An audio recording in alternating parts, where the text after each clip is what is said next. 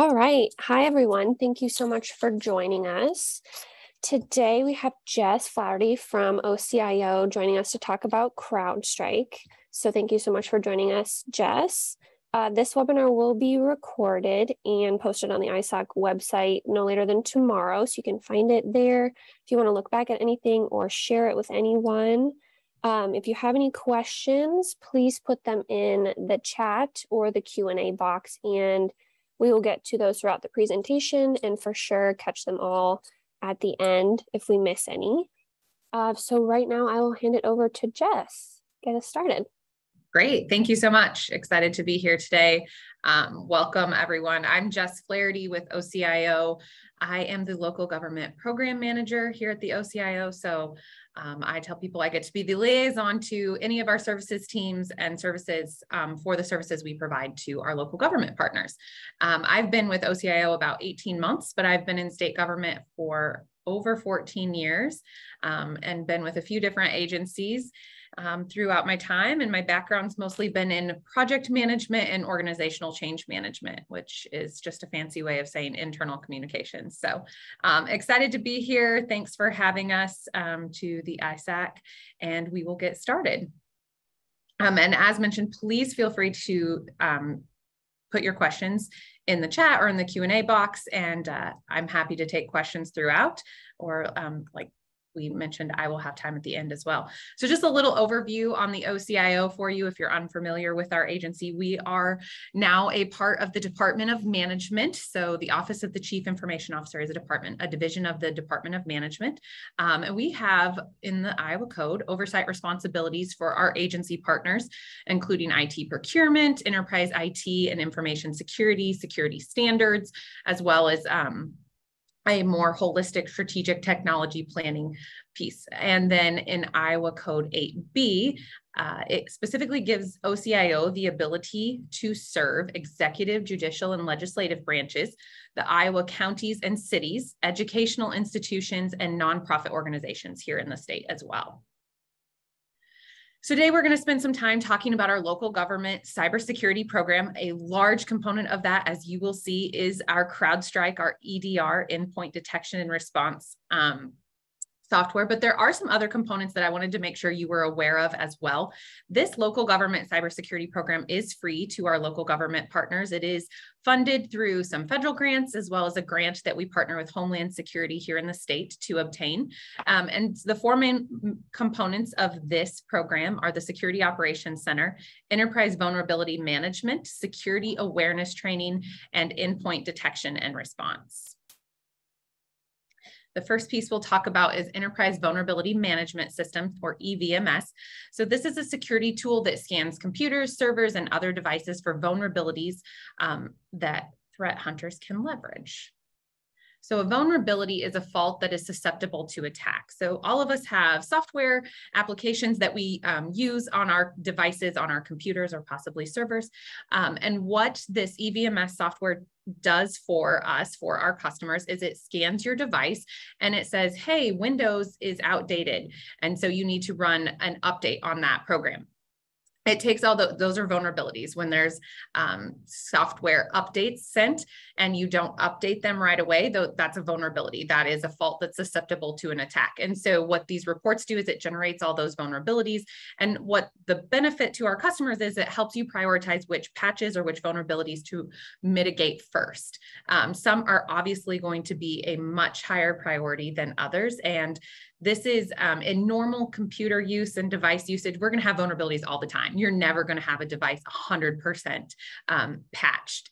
So this uh, report, like I said, it just helps you prioritize those vulnerabilities so that you have a place to start.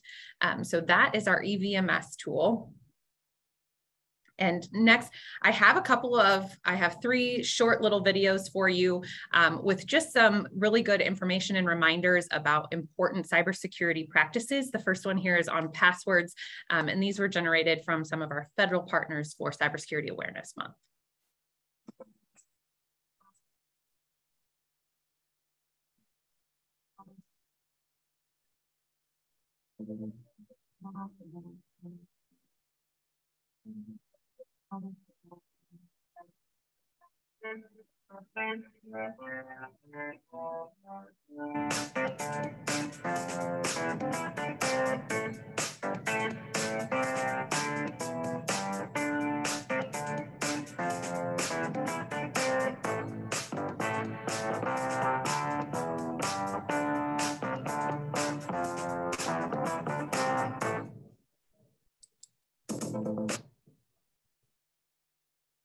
Excuse me, there we go. Okay, so the next piece kind of leading into security awareness training, that little video is about passwords. And so we know that um, passwords are one of the three main components to help prevent attacks. We have passwords, people, and patching.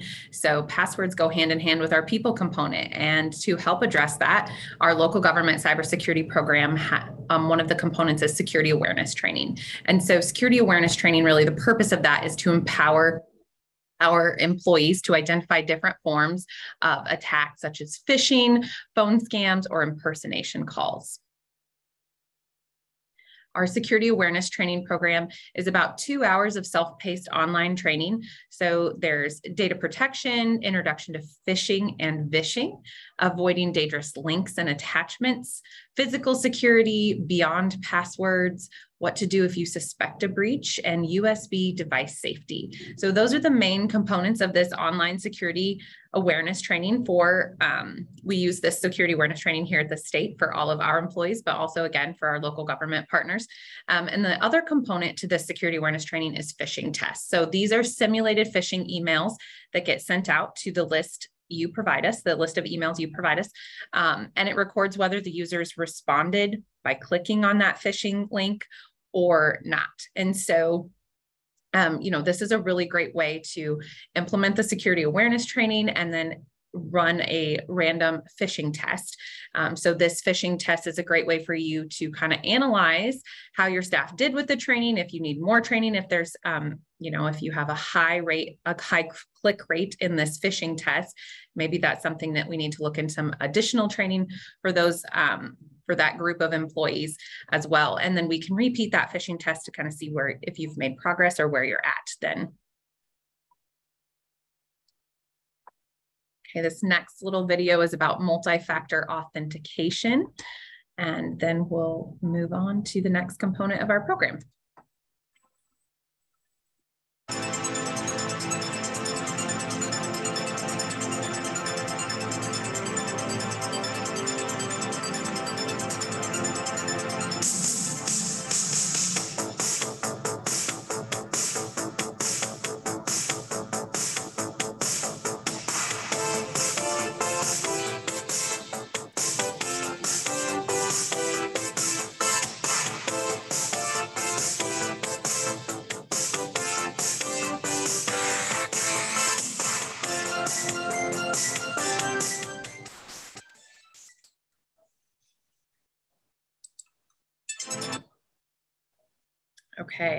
Before I hand the slide deck over to Danny with our Security Operations Center, um, that video again was about multi-factor authentication. This is the number one thing we are hearing from cyber insurance um, companies that they are requiring of their customers to have multi-factor authentication. We know this is one of the top ways that you can prevent an attack um, from happening inside your network. And so multi-factor authentication is very, very, very important. We highly recommend it. Um, there are some companies that you can go with. Uh, the state has historically. Um, we're currently using Okta. Previously, we used a company named Duo. You can procure that software excuse me, you can procure that software through OCIO if you would like, through our procurement department with pre-negotiated contracts um, that our local government partners are able to purchase or procure items directly from those. Um, also, if you have a cloud email system such as Google or Microsoft 365, you can turn on multi multi-factor authentication or two-factor authentication as it's sometimes called for your email, um, your cloud-based email as well. And we would highly recommend that if you have either of those email platforms, you do that right away as well. Um, if you have more questions about multi-factor authentication, or if you're interested in um, implementing that in your county, please reach out to me and I can um, get you connected with the right person to take the next step. So the next component of our local government cybersecurity program is endpoint detection and response. Um, so this EDR tool, you've heard a lot about CrowdStrike. We've been talking about it a lot. I know we put an article in the ISAC County magazine about CrowdStrike, and I brought along my counterpart from the security operations team, Danny O'Neill. So Danny is a security expert, um, has been with OCIO for quite some time. I'm going to stop introducing him and let him introduce himself, and then he's going to take us through uh, the next few slides slides about endpoint detection, the importance of it, as well as our CrowdStrike platform. Yep. Hey guys, um, I'm Daniel O'Neill. Like she said, I am the vulnerability management and also the um, endpoint detection and response manager at the state. So here to talk to you guys a little bit about EDR. EDR is essentially a um, device that you put on your endpoints and it protects it from malware or any kind of malicious activities that happen on the actual endpoint itself. So if we want to go ahead and get to the next slide here, we'll talk a little bit about some of the features of the different tools. So the two tools that we currently have at the state is FireEye or Trellix is the first one. Um, it was originally called FireEye until it was bought out by McAfee and then it changed its name to Trellix. Um, one of its major uh, features is that it does triage collection. That essentially, around the time of a vulnerability alert, it will collect data around, you know, what sort of things were happening before and after an alert. Uh, was there any type of emails that were downloaded or anything that looks potentially malicious at that point? Um, it does a pretty good job on being able to, once we actually have an incident, to go in and explain to people and walk them through. Here's the exact scenario of what happened, and here's where it ended. Um, the new tool that we're going with um, implementing across everywhere is CrowdStrike. Um, that has it's a next generation AV solution. Uh, it has more of a real time response. So instead of having that triage collection where we get the data in as an alert happens, it has real time monitoring. So it's always sending us details about if there's any kind of alerts happening. Is there anything going on that looks suspicious? So it does a pretty good job on letting us know if there's anything out there that we should be looking at.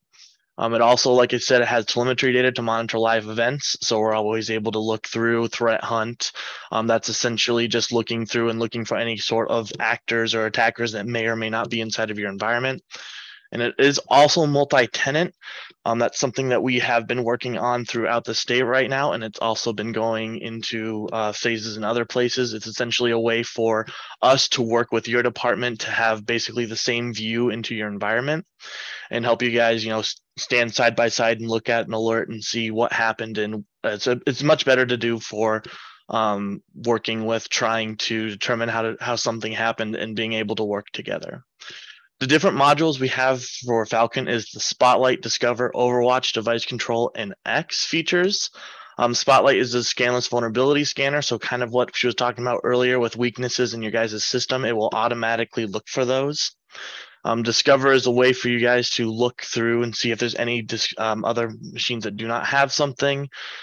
Um, and then we have a few other ones on there. And also they both have the ability to contain. So if something happens, we make sure that it doesn't have any sort of damage that can be done on the computer, and they both have the ability to do threat hunting and searching.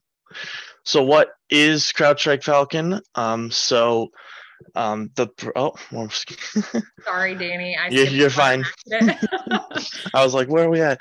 Um, so like you said, it's the next. Uh, so it has the real time response. Um, like I said, we have the most expansive package of, of, of CrowdStrike Falcon. So we have a lot of abilities to be able to look through you guys' environment and work with you. And we kind of went through these other ones already. So let's go to the next one.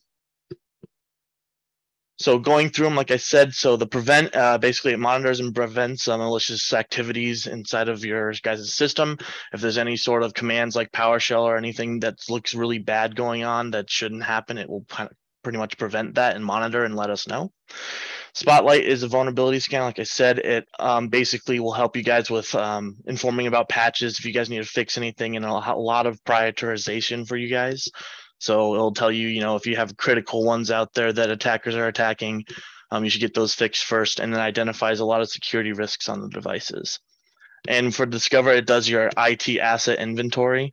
So it keeps a good inventory list of all the different um, machines that are on your network. And it has a good job on showing you if you have any kind of like rogue devices or devices you don't even know that's running on your infrastructure. So it does a good job on explaining that sort of information. Go to next slide. Okay. And then so the other features we have on there is Overwatch, which is a managed threat hunting provided service by CrowdStrike professionals. Uh, essentially, they are always going through those details, the telemetry data that we get from your guys' machines, and they looking for any kind of incidents that happen 24 7 a day. Uh, every anytime that they see something that looks to be suspicious in nature, they will give us a call and kind of tell us what they're seeing going on. And that's again with that multi-tenancy, we can walk that through with you guys live if there's any sort of thing that we see from that Overwatch team. And the device control, once again, it ensures safe USB usage and monitors if there's any sort of suspicious behavior on those USBs. And it will also be able to ensure that there's safe connections for USBs so you don't want to have someone inserting certain USBs and taking data out of it. It's a good way for you guys to at least monitor and look for that kind of stuff. And then Falcon X is a good job with our threat intelligence and indicators. So it's basically it's a way for us to see alerts that are happening with those common APT groups or advanced persistent threats out there on the internet who are constantly trying to break into systems and it gives us a good way to actually watch for them and prevent them from doing harm to our systems.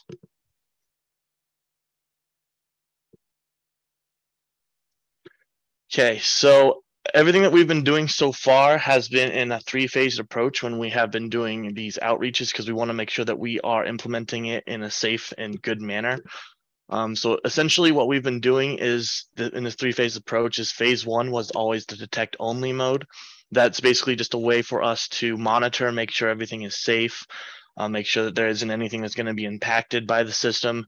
And then we slowly move everyone over to phase two, which does do a little bit of blocking. And so far, we've seen pretty successful with all of it wherever we've been doing this out there. And then phase three, which is full protection, which essentially we're trying to get to, that's our last phase there where we'll be pretty confident in our security stack from this um, effort.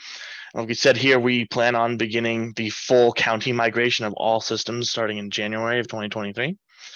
And we will continue to migrate counties um, by adding the systems into the first phase slowly, making sure that we're testing, making sure that there's no processes or anything like that that will be stopped along the way.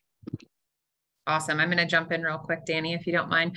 So as you can see here at the top of the slide, our county auditor partners and critical and their critical election staff um, or their staff devices have been migrated to CrowdStrike. So we began working with the auditors department um, in July, August to uh, migrate them to CrowdStrike. And the reason we started there was so that we could implement CrowdStrike in the auditor's offices prior to the elections this year. So um, the county auditors have been fantastic to work with. We've had great success. We've, in fact, just um, finished our phase two uh, testing with the county auditor's devices.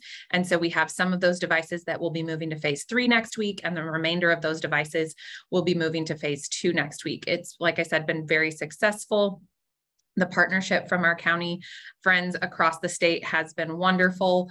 Um, and so we are looking forward to implementing CrowdStrike beyond the auditor's offices in our counties um, starting in January of 2023. And like it says here on the slide, we will be doing that in a ISAC, we'll be using the ISAC districts to start that uh, phase that implementation or that migration with our county partners. The reason being, um, 99 counties is a lot, and um, each county is essentially the size of one of our state agencies. And so we want to make sure that we can get that rolled out to our county partners in an effective way, but also in a way that we are able to um, help you and make sure that we are not causing or that this doesn't cause any disruptions on your networks. We've not seen that so far, but again, we just want to plan for that and make sure that we're not rushing um, through all 99 counties at one time so that we can appropriately assist our county partners. So we will be using the districts. Um, and just for the sake of ease, we'll probably start with district three and work clockwise around the district map. Um, just, you know, kind of picking out of a out of a bucket there, but that seemed to make the most sense. So you can look for more information coming from myself or my alternate inbox, which is government.services at OCIO. Um, we'll be sending more information regarding that full countywide migration.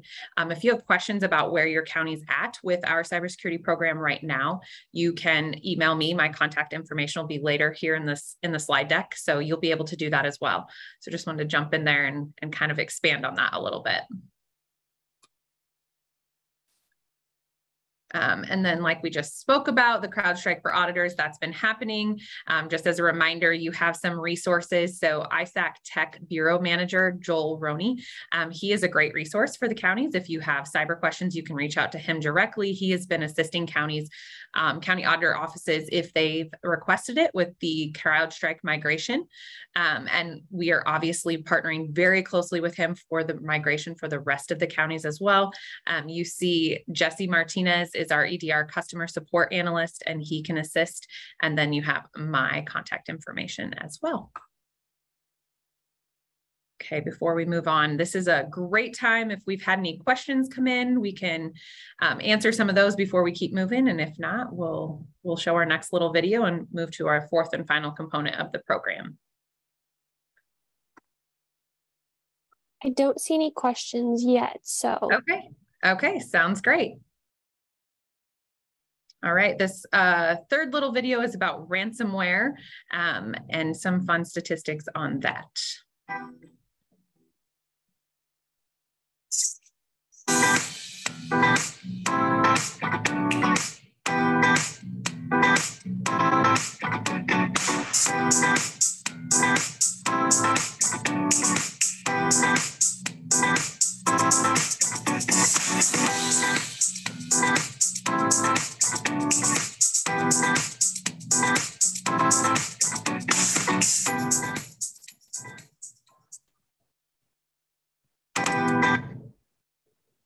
Okay, so I'll keep moving here. Our fourth and final component of the local government cybersecurity program is our Security Operations Center. So the Security Operations Center component goes hand in hand with the EDR. Um, you cannot get the Security Operations Center coverage without having the EDR installed on your devices. Um, and you'll see why here in a moment as we move through that. So the Security Operations Center, or the SOC, as we will often refer to it, uh, provides cybersecurity threat monitoring and alerting to our customers 24 7, 365. So what is a security operations center? Again, the purpose of a SOC is to monitor, prevent, detect, investigate, and respond to cyber threats. Um, here at OCIO, we have a security operations center that is comprised of four main types of security experts that we employ. So we have tier one and tier two analysts. Their role and responsibility is to monitor the SOC cybersecurity tools, analyze events as they are detected, and initiate remediation procedures so those um, like i said we have tier one and tier two and those guys are the ones that are looking at all of our um, different types of software and reporting that's coming in constantly in the new feeds and it's giving them information and they're constantly monitoring that and looking um, for any type of suspicious events.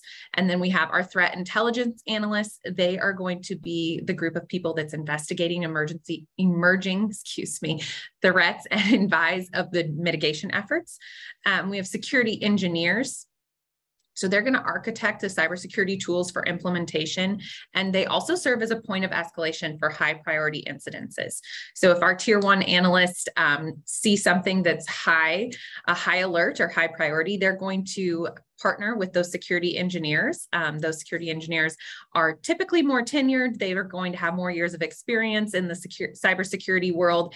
And they, like we said, they can be a point of escalation. So they can help mitigate and resolve those alerts or those incidences um, quickly with our team and architecting the cybersecurity tools. So what that means is they're going to take tools, they're going to take the data that they're being given by our threat intelligence analysts um, through CrowdStrike. We talked about that Overwatch and that Falcon X. So they're going to get information from lots of those sources, our federal partners, and they're going to take our tools. And if they know a certain type of attack is happening, they're going to make sure our tools are proactively looking for that very specific type of attack. Um, so that's kind of what that architecting the cybersecurity tools is. They can kind of tweak those tools to make sure that um, we are proactively looking for what we know is happening in today's environment. And that can change often. And so, like I said, they'll take that data and they'll really um, analyze that data and then help our team respond appropriately to mitigate those risks to the best of our ability. And then the fourth group of security experts that we employ in our security operations center is security governance, risk, and compliance team. So these are experts that advise and collaborate with our customers on security audits, training. Um, they kind of help manage the security awareness training component um, for our customers as well as policies. So just again, a reminder, what does the SOC do for you? I really think um, our security operations center is where you get your biggest bang for your buck if you were paying. Um, our security operations center is there 24 hours a day, seven days a week, 365 days a year. They're constantly monitoring um, and they're there for cyber support. And then we also, this helps us improve our response time and visibility into cyber threats.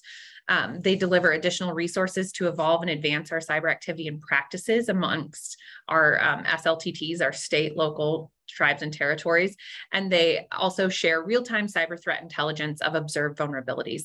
So, another component of what our security operations center does is they send out security alerts as necessary to all of our customers. So they're taking that uh, excuse me, those real-time threat intelligence vulnerabilities that they might see, um, and they are sending out security alerts regularly. So that you have device-specific alerts that could come from they would come from our security operations center, excuse me, if you had a, an alert on one of your individual devices. Or we also send out regular security alerts to all of our customers, and those are awareness. So here's something that's being um, happening globally or happening in our country, or here's a vulnerability we know that's being attacked um, that's very susceptible, and reminding you and giving you information about how to patch for that vulnerability. So those are the types of real time threat intelligence that we're sharing with our customers. A little information, more information about our security operations center. So we have high alerts, obviously, those are going to be the most urgent. Um, those often in, or may include automated device containment. So that automated device containment with our software, we can automatically shut the device down that has a high alert.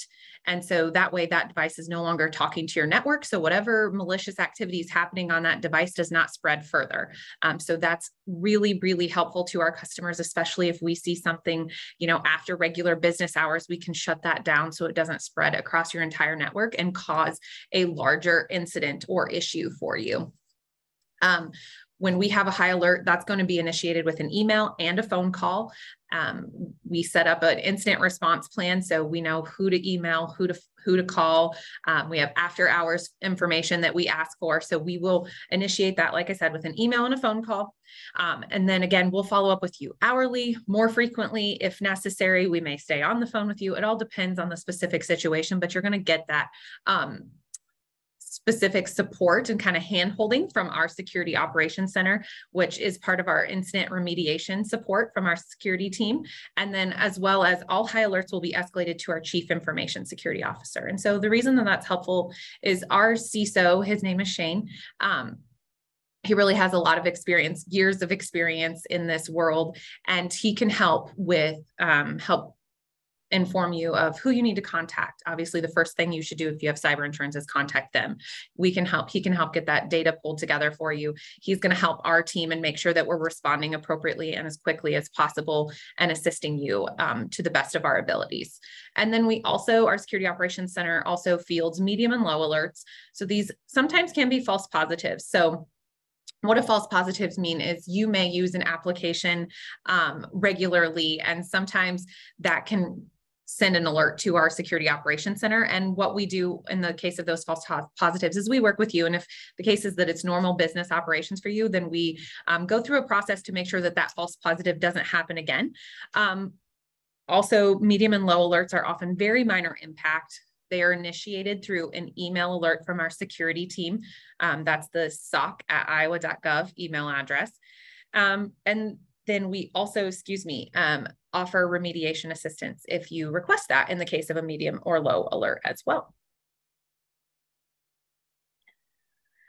Okay, so those were the four main component or the four components of our local government cybersecurity program. Like I said, there was a, um, a couple other key things that we wanted to touch on today, strategic partnerships being one of them. So we do partner with a few different groups and we like to point out kind of the importance of those groups and some of them you can take advantage of as well. So we partner with the MSISAC, the Multi-State Information Sharing and Analysis Center. Um, I have a bit more information about them, but all local governments are able to be a member of MSISAC as well, and that is free um, to you. We partner with CISA, our cyber Security Infrastructure Security Agency. Um, so they're our federal partner. We partner with them regularly. We're getting information from them. We're sharing information as it's necessary or helpful to both sides. Um, like I mentioned earlier, we also partner with the Iowa Homeland Security and Emergency Management Department.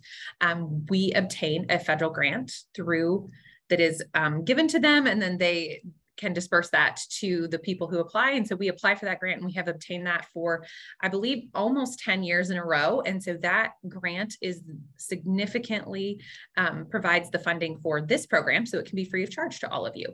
And then the last group that we like to point out is the Iowa Counties Information Technology Group. So that is an affiliate, ICIT is an affiliate of ISAC. Um, if you're not familiar with them, we have some more information and we highly encourage you to be members um, and get connected with your ICIT group. A little bit more about MS ISAC and then EI ISAC.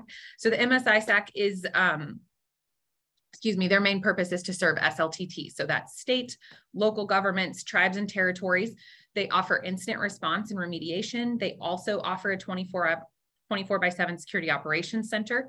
Um, we are members of MSISAC and we are a member of their security operations center. So when you become a customer of ours, you get the state of Iowa Security Operations Center, which is monitored by the MS ISAC Security Operations Center as well. So it's just another layer. Um, you know, we're we're leaning on our federal partners to help us as well. So that is a great benefit to you, and we encourage you to be a member. If you would like to be a member, if you're not sure if your county is a member, you can email the MS ISAC. There is their email address, which you will have a copy of. And then the other group that is um, very helpful for counties to know about is the EI ISAC which is the Elections Infrastructure Information Sharing and Analysis Center. So we encourage all county auditors as your responsibility with elections here in the state of Iowa, we encourage you to be members of the EI ISAC. Um, and you can reach out to question to ask if you're a member or to become a member to the um, email address listed there as well. Okay, so we've come to the point of the day where we want to talk about some key takeaways. So from those short videos, we wanted to remind you that passwords, people, and patching are the three P's of cybersecurity. And the three P's of cybersecurity are the most effective way that you can prevent a breach or an incident from happening in your local government. So strong passwords. Um, we're hearing now from our I just had a call with ICAP this week um, from other cyber insurance providers. They are looking for passwords that are at least 10 characters. They're actually preferring 12 to 14 character passwords now. So strong passwords, passwords that are changed regularly, that are not shared across multiple um, logins, you know, a unique password for those um, updating your system. So that patching, we talked about the enterprise vulnerability management system that we offer as part of this program, um, the EVM or the vulnerability scanning that comes as part of CrowdStrike. So that that does not implement the patch for you, but what that's going to help you with again is it's going to scan those devices for you. It's going to inform you of the vulnerabilities that are on those specific devices and help you prioritize which vulnerabilities to patch first. Um, so that is really important. So that's passwords and patching and staff training um, addresses the people of the three Ps. So staff training, we have again, security awareness training that we offer as part of this program. Um, as well as phishing tests. And so we would recommend that you do the security awareness training once a year. That's how we all do that here at the state level. We take that security awareness training annually, and then the phishing test. Um, that phishing test is going to help give you a baseline of where you're at right now, and you can repeat that test after you do the security awareness training to see how far you've come with your your staff and your local government. Um, the other second key takeaway today is our Security Operations Center. So again, um, the Security Operations Center, we're really here to serve you and serve our customers. We're 24 7, 365 shop constantly monitoring those devices, looking for those um, malicious activities, looking for any type of alert that's coming in through any of this different software components that we're using in our security operations center and we're here to help you. If something happens, if there is an incident or anything larger than that, a breach or any other um, issue in your local government, we are here to help. We do have staff on site. They're here to help you. Our chief information security officer is here to help you. So we're really here to be a partner in that. We don't we don't just send you an alert and and walk away. We're here to partner with you there. Um, And then the last component to take away for today is our CrowdStrike migration. So right now we've been using FireEye, like we said, we're migrating to that next generation CrowdStrike and all the components that it offers to our customers, those six CrowdStrike features. Um, and that will be happening beginning in the new calendar year. Right now, we're working with the county auditors. Everything has been going really well. We've not heard any um, negative feedback from the CrowdStrike side of things at this point, and we're getting that migrated to our auditors to get them into the full protection mode of phase three prior to the elections. And we are excited to help the remainder of our counties or county departments, excuse me, um, get onto our CrowdStrike platform after the first of the year um, to help improve your cybersecurity posture. Contact information. So you can see my contact information is here. The government.services inbox is my more generic inbox. I am the main monitor of that inbox. Um, so if you do get a response there, it is coming from me um, and then also included here, our state of Iowa Security, Cybersecurity Operations Center. So our SOC is available 24 seven to you. You can email them, you can call them. The 1-800 number is a 24 seven number, 725 will get you, um, get you there as well. Um, our Security Operations Center, you know, if, if you get an email that looks suspicious to you, you can email it to the SOC here at that email address, soc at iowa.gov. They will review that email for you. Don't just click on links that you're unaware of. Don't, if you're suspicious of an email at all, they can analyze that email from you. If you are experiencing any type of cyber issue in your county, please, if it's you know, if it's something coming from a device that we're not necessarily monitoring through our endpoint detection, our CrowdStrike or our FireEye, that's okay. Give us a call our security team is here to help you. Um, and so give us a call if you have, if you're suspicious of any activity that's happening, um, like I said, or any type of email, call us, email the Security Operations Center, and they are here to help. Right, that's all I have for today. I don't know if we had any other questions come in. Um, happy to answer questions for all of you. Danny's here to answer any technical questions if I if I can't answer answer it either.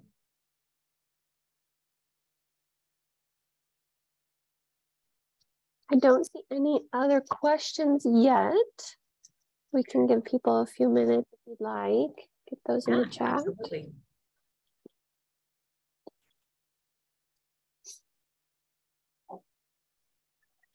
Danny, one thing that might be helpful that we didn't cover in very much detail, if you could talk about when we say endpoint detection, what is an endpoint? If you could talk to the group about what we consider endpoints and where they might want to um, really focus that endpoint detection, you know, if they have to phase it or if we're starting someplace or doing a little testing in the county, what what are your thoughts on that? Um, hmm. So I know the the official definition of endpoint is a physical device that connects and exchanges information with computer networks. Um, but for specifically CrowdStrike related things, um, there is a range of, I believe it is after Windows 2000 and higher. Um, those are going to be the ones that we're targeting as first round. Um, those are just pretty much any of the endpoint user machines, anything that is a server that might be hosting your data on it. Um, we cover that in pretty much our first round, and then we go back through. And if you guys happen to have anything that is a Linux type of product, um, anything that is, you know, like Ubuntu servers or anything like that that you might be hosting websites on, um, we go. We're planning on going through that in the second round, where we after we get about, you know, all of your guys' normal assets put into there. Um, but normally when we're doing like the phase testing uh, for the endpoints, we want to just kind of get a good basis of um, kind of just everything that you guys are doing on a normal basis. So we want to make sure that when we are going through the different phases, when we're doing our test groups, that we don't accidentally get something in there that um, will block something that is critical. So we often will ask people to just put in, you know, some of your test environments or anything like that for your endpoints and then we plug it in there and then we'll see if it blocks anything in that nature. I don't know if that's a good answer to your question, but yeah, that's, that's the answer I came up with. Yeah, that's helpful. So again, a reminder of like we say endpoints. What what we mean by endpoint is if you have a laptop, if you have a desktop, serve on-prem servers, on-premise servers, um, servers where you store data. Those are the types of endpoints or devices we are speaking about. Um, we those, um, like Danny said, they kind of phase which ones they target first. So the Windows machines, and then they move to the Linux um, devices. So that's that's the type of endpoint we are talking about when we talk about our endpoint detection and response, and specifically installing CrowdStrike.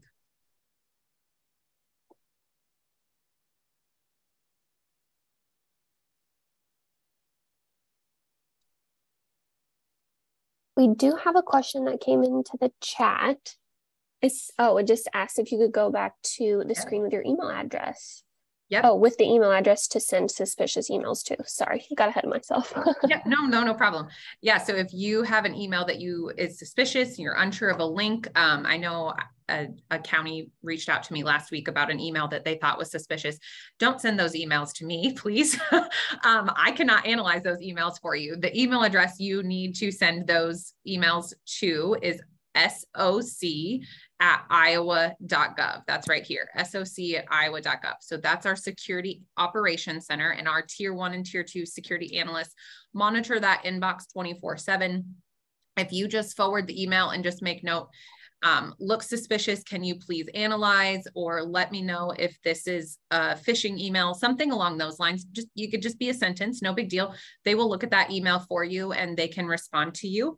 Um, and it's helpful for them to get those emails so that you know they know what's happening around the state um, and they can and know if there's a phishing campaign out there we can send information through a, a security alert, just letting our customers know about phishing campaigns if we see them. So great question.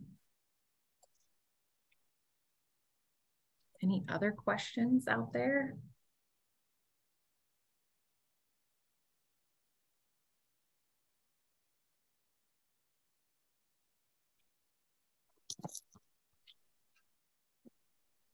I don't have any others that have come through yet.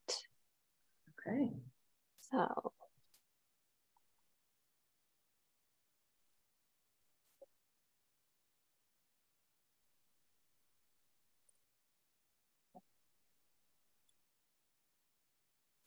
All right. Well, I'll just talk about the key takeaways one last time. Um, if you have questions, you can throw them out there right now. Otherwise, uh, this is this is the final bit of information I have for you. So again, um, key takeaways: the three P's to cybersecurity: passwords, patching, and people. So strong passwords. We're looking for a minimum of 10 to 12 characters on those passwords, making sure those passwords are updated or changed regularly. Um, update your system. So the patching, uh, again, use our local government cybersecurity program, that EVMS portion of that program to help you scan for vulnerabilities, which informs your patching and then actually implement those patches. So that's your updating of your systems. And then the people of the three Ps. So staff training, security awareness training, we can do those phishing tests for you and help get an idea of where your staff is in your local government. So people, patching, passwords. Those are the three P's of cybersecurity. That's going to take you a really long way in cybersecurity. The other thing we talked about today that is really helpful that ICAP's looking for and other cybersecurity um, insurance agencies as also the number one thing we recommend at the OCIO is multi-factor authentication. Multi-factor authentication is so important. That means that a hacker can't just take your password and get into your system. They, they need more than just your password, right? So that multi-factor authentication is very, very important and is going to help prevent a tremendous amount of incidences, attacks, breaches in your systems. So if you want more information about multi-factor authentication, if you're looking for some quotes to get started with multi-factor authentication, please reach out to me and I can help get you pointed in the right direction and get you moving as far as multi-factor authentication. Um, the security, the next takeaway for you is our security operations center 24 7 365. We're here to serve you truly. That's the, that's the mission of our security operations center um, is to secure Iowa. And that includes our local government partners. Um, so if you have questions, you can reach out to the security operations center. Like I said, if you have a suspicious email, you can send it to them. If you have something happen in your county and it's on a device that isn't necessarily enrolled in our program, you can call us anyways. We're going to assist our county and our local government government partners. Um, and the third takeaway for today is the CrowdStrike migration. So if you're unaware, if your county department is enrolled in our local government program, you can reach out to me and we can talk about that and see where your county's at. Um, we are migrating to CrowdStrike for all of our local government partners beginning in January of 2023. And so that migration is going to take place, and that's going to put you in a good cybersecurity posture. That's going to help your county. That is also going to ensure that that device with CrowdStrike installed is monitored by our Security Operations Center.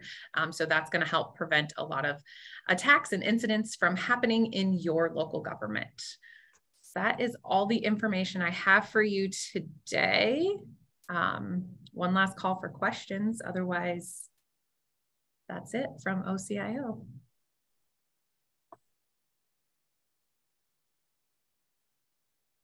I'm not seeing any more come in, but thank you okay. so much, Jess and Danny, for joining us today. We appreciate it. Thank yeah. you guys for listening. Absolutely. Thank you for having us. Um, again, here's our contact information, and I know this is going to get posted for you. So if you uh, have IT friends or other departments you want to have this information, please share it and share my contact information.